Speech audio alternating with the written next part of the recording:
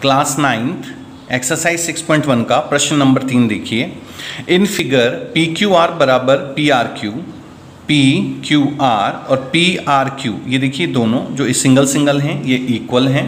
Then हमें prove करना है कि पी क्यू एस ये जो पी क्यू एस है ये पी आर टी के इक्वल है, ठीक है?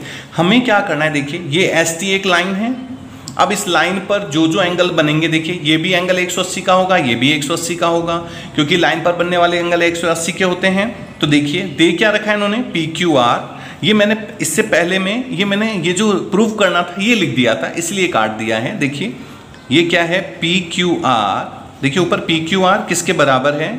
पी आर क्यू के ये आपको दे रखा है?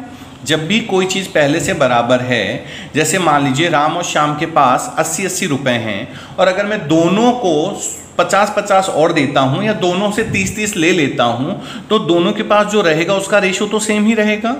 तो जब भी कोई चीज़ बराबर है तो उसको अगर आप माइनस करें तो दोनों साइड से करते हैं। तो देखिए, मैंने दोनों साइड को क्या किया है? सब्ट्रैक्ट बोथ साइड बाय 180 दोनों तरफ़ 180 में से माइनस किया। क्यों? क्योंकि लीनियर पेयर 180 के होते हैं।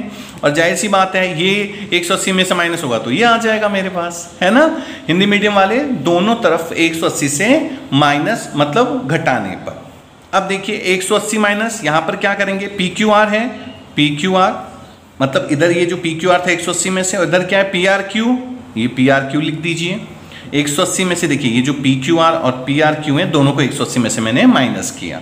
तो जैसे ये पी क्यू आर एक सौ अस्सी में से माइनस हुआ ये तो क्या बच गया अब ये? पी क्यू एस क्योंकि ये दोनों मिलकर ही तो लीनियर पेयर बना रहे हैं एक सौ अस्सी का। तो यहाँ पे क्या लिखेंगे? पी क्यू एस और यहाँ पर देखिए 180 में से जैसे ही पी आर क्यू माइनस हुआ तो क्या बच गया? P R T P R T तो आपने क्या किया? ये दे ही रखा था 180 में से माइनस किया। क्यों? क्योंकि ये एक लाइन है और इस लाइन पे जैसे एस आर भी एक लाइन है और टी भी एक लाइन है तो आपने टी लाइन ले लिया तो ये अपने आप ही 180 के हो गए। और यही आपको प्रूफ करना था। हैंड्स प्रूफ, जब भी प्रूफ करें तो हैंड्स प्रूफ लिख के उसको लास्ट में क्लियर करें। तो इस तरह से क्वेश्चन नंबर थर्ड आपका सॉल्व हो गया।